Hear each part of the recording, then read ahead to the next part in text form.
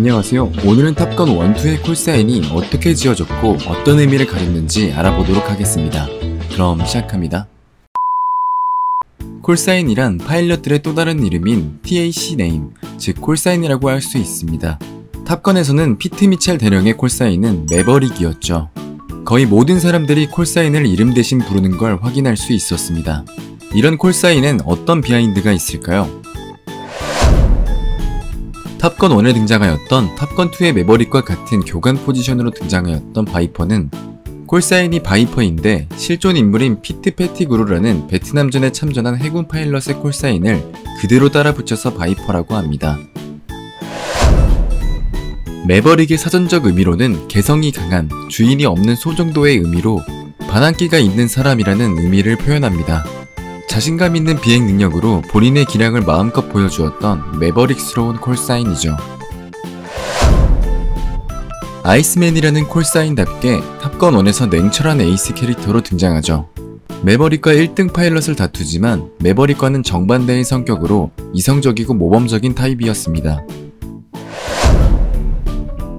구스의 사전적 의미는 거위, 속도를 끌어올리다, 활력을 주다라는 의미로 후방 부조종사의 콜사인으로는 정말 찰떡인 콜사인입니다.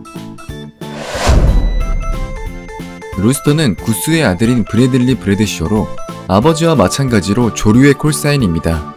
수탉이라는 뜻으로 아버지에 의해 지어진 콜사인인 것 같네요.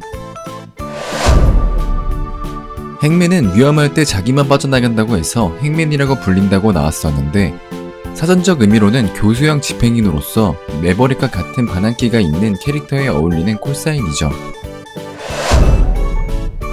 피닉스이긴 하지만 역시나 조류를 의미하는 콜사인이며 피닉스 역을 맡은 모니카 바바로의 배우가 전날 배우 동료들과 늦게까지 술 마시고 놀아도 다음날 지각이나 피곤한 티를 내지 않아서 동료들이 직접 붙여준 콜사인이라고 합니다. 페이백의 call name은 배우인 제이 앨리스가 군인 집안이며 매버릭처럼 술집 카운터에 폰을 올려두어 골든벨을 울리게 되었고 200여 명의 술을 사게 되어 피닉스 역의 모니카 바바로에게 돈을 빌리게 되어 돈을 꼭 갚으라는 의미에서 콜사인이 페이백으로 되었다고 하네요. 팬보이는 배우인 데니 라미레즈가 스타트렉 시리즈의 열렬한 팬이어서 팬보이로 정했다고 하며 헬멧의 폰트까지 똑같다고 합니다.